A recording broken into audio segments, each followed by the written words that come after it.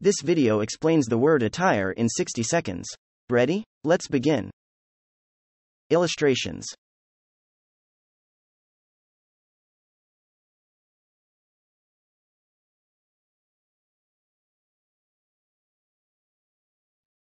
Meaning Attire can be a noun or a verb. Attire is the clothes, especially of a distinctive type. For example, you can say, Pets are a good way to get your family to dress in attire that they enjoy. Pronunciation Attire. Usage business-like attire keep playing out the events of one Quiz How would you say that all attendees were put in identical clothing?